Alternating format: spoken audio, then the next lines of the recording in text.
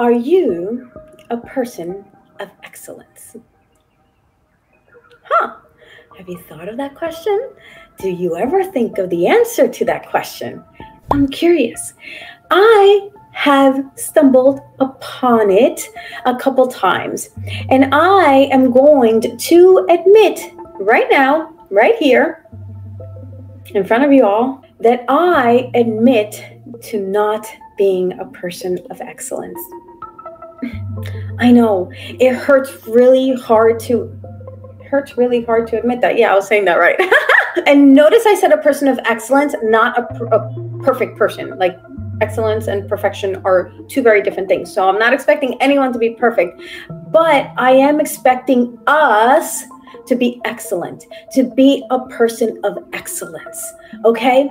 So, how I know that I am not a person of excellence, it was proven to me today as well. It was proven to me today that I am striving to be a person of excellence. So, I hope you like are with me on this one. So let's let's dig into this a little bit more, okay? I was watching this incredible video on my way to Dhar Mann Studios by Ed Mylett. You may or may not know that name. I haven't spoken about him on this channel really. I've I know of him, I knew of him, but I've never really watched or or dove into his work. And for reasons that maybe, you know, I didn't connect with him and his energy as much initially.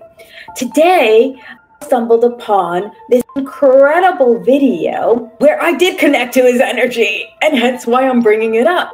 So, he is super influential, um, has a huge, huge audience following, and he was peeling back the curtain on what successful people do that average people do not right? So, for all intensive purposes, we're going to say we're average, okay? And you know what I mean. I'm not saying you're not special. What I'm saying is that there is a upper echelon of people who are uber successful, right? Like the millionaires and the billionaires, right? Like the people that we look up to who are creating the things that we like use every day or Apple computers and devices. You know, like like there's just people of just tremendous superiority. Try saying that word three times real fast. And he was kind of dissecting what they do differently than us average folk. And I was really surprised by his share, by his response. So he says that we think average folk like us think that they do something exponentially better or more than us, right? Like we think that it is so much more that what they do that we like don't aspire to do it because we think it's too hard or we think it's too far away we think it, it, it's too challenging so we like stop ourselves right what he shone a light on in this video, and I will put it in the description or I'll, I'll share it so y'all can watch this video on your own because there were so many incredible nuggets in it. And this is his work, his video, his, you know, information I just learned from it today, right? So giving credit where credit's due. I didn't come up with this, obviously. I'm learning it today, like a few hours ago. And what was was so surprising to me is that he says that they don't do 100% more than us the successful people who become successful and acquire a lot of wealth actually only do 15 to 20% more. 15 to 20% more. And I was like, whoa, well, 15 to 20% more is, is achievable. It's doable, right? You can do 15% more in a day, in a week, in a month, right? And those 15% deposits into your good bank of good tasks completed will compound and compound means that they are added and stacked on top of one another. It's a financial term that the wealthy the really wealthy attribute their wealth to. So it's a compounding effect. Every time you do something good and you deposit that into your good bank 15% a little bit each time you get that's where you get the exponential growth and the exponential results, right? So, why I say this is because I had a video planned for today. I got my call sheet, which is what tells me what time I'm expected to be in, my call time, my wrap time, right? And it said I was going to wrap early. And I was like, well, I'm still going to schedule my video just in case we run late, which can and does happen. And that way I end early and I can, you know, have the rest of the day to run errands, you know, be with the hubby, whatever it is. It's Friday. Let me take the rest of the day off because I have a very early call time and blah, blah, blah. I listened to this video and I'm like, wait a minute. I can do more. I can still go live. If I really do get home in time, I can still go live that is a way to prove to myself that I want to be a person of excellence, that I want to aspire to do more in my day, that I, on those days when no one's looking, I want to do more. So on Sundays, that I love to have my Sunday off because I'm like, well, God rested on the seventh day, I'm going to rest too well, what if I add a little 15% there and I do a chapter in my book or I do a you know, a video for my course or I shoot another YouTube video, there's a 15%. That's a little bit more that's going to compound and add into my good bank so that I can continue to strive to be a person of excellence. So that really struck me today. I don't need to do 20,000 more things. I need to only do 15% more better, more consistently, more frequently, more daily. Do you see how when you chunk it down, and chunk it down means when you like break it apart and you like make it into bite size pieces, right? Like, how do you eat an elephant? I don't like that one but that's like a common saying in the states it's like one bite at a time so instead of looking at like i want to be hugely successful and have a huge youtube account with millions of subscribers my gosh that's a lot. What do i have to do? Oh my god that that's overwhelming. I, I already put out a video and you know oh my god that's a lot of work. Uh, but what if i chunk it down? What if i do 15% what if i do a little bit each day each time each week each month? Do you see how those little increments can contribute to the outcome you want? And therefore, resulting in you being a person of excellence and being more successful in what it is you want to do. I was like, that's doable. I can do 15%. So, what this means for you is how can you do 15% more schoolwork? That's something you need to do, right? You need to do better in school so you can get into a college if you so choose to go to college, or you need to do better at work so that maybe you get that promotion or that raise or that acknowledgement or that award, right? You can do 15% more jokes or poems so that you can maybe build your your book of poems quicker and sooner. Do you see how these little shifts can make it more doable? More fun, more achievable. And that was a lesson I took away today that I wanted to share with you today. So I'm curious, what do you think of that? How did that land for you? How does that feel for you? Is that something you think you can take on? Is that something you want to do, right? And I just want to give you that latitude. I want to give you that latitude that you can choose for yourself right? What is it that you want to be excellent at? It could be that you want to be a more excellent human in this world and you want to smile more and be happier and, and not let things affect you. How amazing is that? Right? So I just wanted to like hone it in so that we each can do our own little bit to become that person of excellence, become that successful person that other people we see have achieved, but they've done that already, right? They've done that. Like, think about it. How much work has Dhar Mann put into his studio? How many teams does he have working simultaneously? But he didn't start with five teams. He started with one. We were a two person crew when we started, when I started with them at least. They may have been one person crew before me, right? Like, think about it and look what he has compounded and look at the benefit he has done worldwide, right? because he continued to do 15% more each time each week. He didn't go from one video to five from one week to the other. He compounded another one, another one, another one, and now he's up to five or whatever the number is, right? So I just want to share that with you all, my loves. I just want to like be like, wow, if we all could be younglings of excellence, right? If we all could contribute to the success we want in the world, right? At this age, at 18, 17, 12, whatever age you're in, 22, 35, 65, I don't care. But if you start doing it today, where will you be next year? Three years from now? Five years from now? 10, 15, 20? I am just inspired by that, right? I'm inspired by how little we, how little more we can do. That's an oxymoron. How little more can, have you ever said that? How little more we can do. I love that. How little more do you want to do? I'm curious. I'm curious how this is landing on you.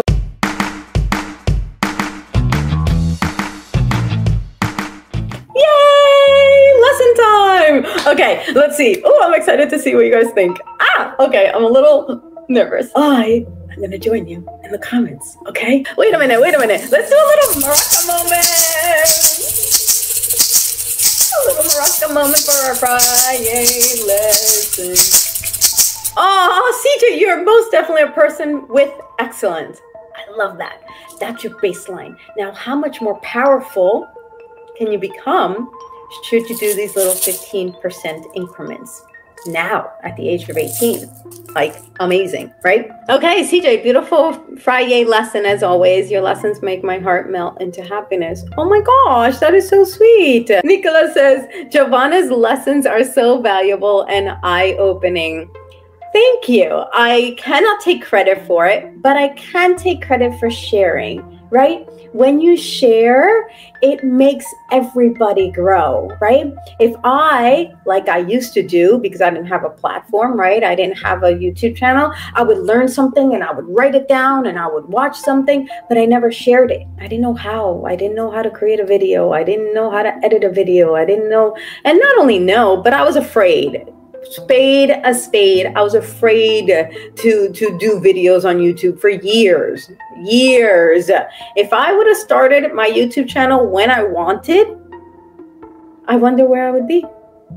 Cuz I when I drove to LA to become an actor in 2009, y'all, some of you weren't even born. I recorded my whole drive from Miami to LA with the intention of starting my YouTube channel in 2009, 2010. Could you imagine 13 years ago if I would have started my YouTube channel? I started it three years ago. We're going to turn three years, guys. Three years, October 1st. Oh my gosh. Oh my gosh. Oh my gosh. I, that just hit me. Guys, it's going to be three years. So many of you have been here from the very beginning. Wow. I'm so grateful. Oh my gosh, I just realized what gratitude I have for you all. Three years. CJ, you were 15 when you were here first. And I remember you saying you were 15.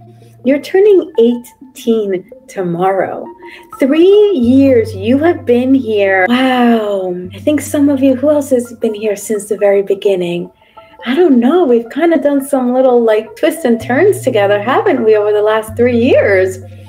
Who else has been here since day one? I don't know what to say because right now I'm feeling just so overwhelmed with the reality of where we're at and how far we've come.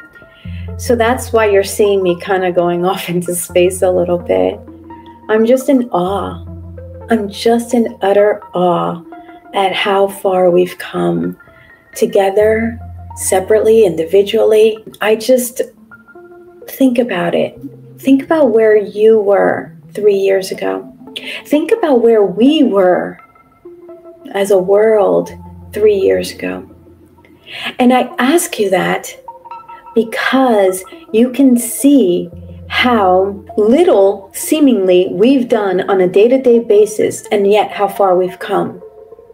Can you see, based on this new notion of doing 15% more on a daily basis, how we can i was going to use the word quantum leap for that um, but i feel like i need to explain that for some of y'all. So quantum leap as i understand it is when like you can leap right? Oh i'm going to leap forward. But quantum leap is like you have traction and momentum and you like catapult that's the easiest way I can explain it because it wasn't very easily explained to me. So I was always like, quantum leap, what's quantum leap, right? So that's how I visualize it. Like, yeah, we can leap forward, like, all right, let's go. Or we can quantum leap and be like, booyaka, right? So that's where I want to like spend a moment with, right? Because if you think about, we lived life, like we have lived our lives the last three years. And I say three years because that's the time we've been together we've lived our lives just doing what we do kind of like maybe even robotically maybe just um like out of routine maybe getting into new routines because life has life and world has changed so much. But could you imagine now if we light a little fuel under that and we do it like a little bit more where we could be three years from now and that is where I want us to spend our time, energy individually, which contributes to the togetherness that we want in this world. So I just, it's taken me, it, it's taken me aback actually, just thinking about that. Mom, Nicola, that's a Maraca moment, y'all. That's a Morocco moment. How adorable is this comment? Nicola says, Jovanna is the goddess. Mona and Angela are the guardian angels. Rest of us are angels. My heart melts. That's so beautiful. That is so cute. We're all angels on this world trying to make it better, aren't we? Joy, how do you deal with rude, bossy people? As in, do you have any advice? I do. And my advice is continue to uphold yourself in the highest regard. That way they can't bring you down. And they can be rude, but you realize it's about them and not about you. And because you hold yourself to a higher standard and, and a higher esteem, they can't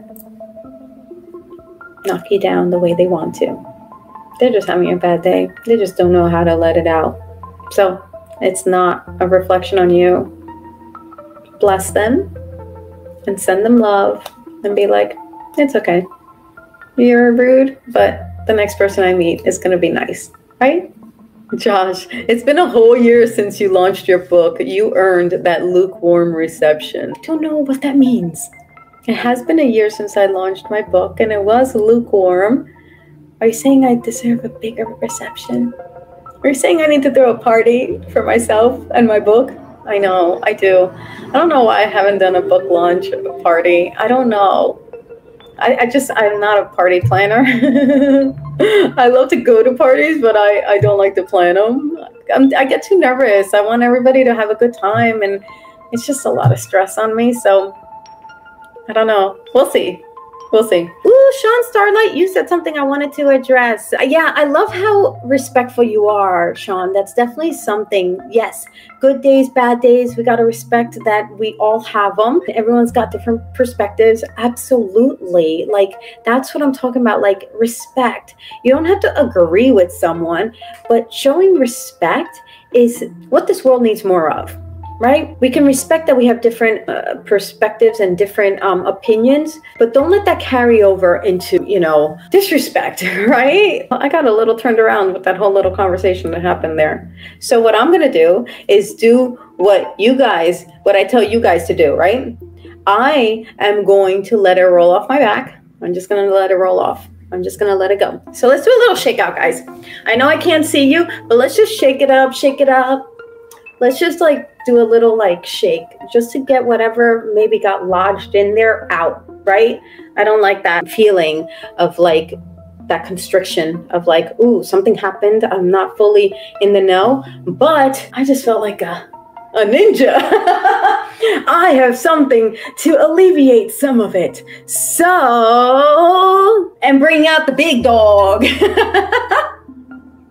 so we right now are going to shake out whatever got put in there and we are almost at the top of the hour and i want to make sure we end on a high note. So we're close to the end of the hour, and this is the big dog that y'all gifted the channel with all your beautiful contributions and for watching my videos, right? And for being here live. Y'all are incredible. Oh, yes, Mona. Nobody likes their boundaries being disrespected. Do unto others as you would have done to you. Uh, golden rule yeah and in my book look at me now now i'm getting a little but in my book i think it was chapter the first chapter, I talk about there's the golden rule, then there's the platinum rule, and there's even a bronze rule. All three are in my first chapter of my book because you can go for all three, right? Why not get all three medals? all right, let's do this real quick.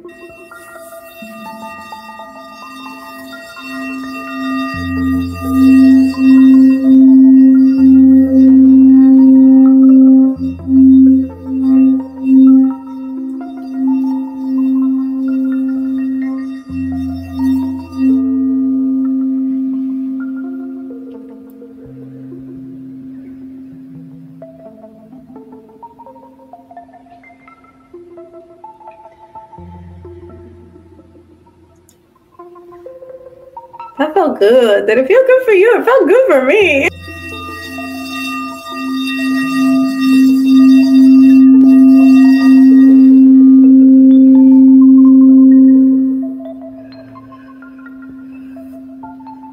It's a mini way for all of us to reground ourselves into the present moment, into each other's moments, and take the good and let go of the bad, right? So Jabez one time says, You remind me of Allison Day from Dhar Mann. Like your mannerisms are so sweet. Oh, um, I've never heard that before. I don't know Allison Day actually.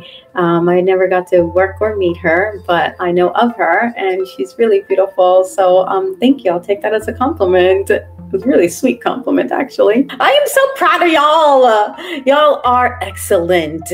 Oh, gosh, y'all are incredible. I'm so grateful, so proud of y'all. I could say that all day, every day. So I love you all. Happy Friday. Happy weekend. Yay. So much love. So much love. I love the love in here. I love it. Bye, everybody. Have an incredible, incredible weekend, y'all.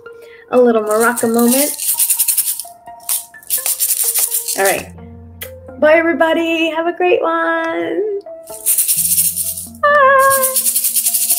So, if you like this video, go check out the others. I got lots of videos on this channel, so keep watching.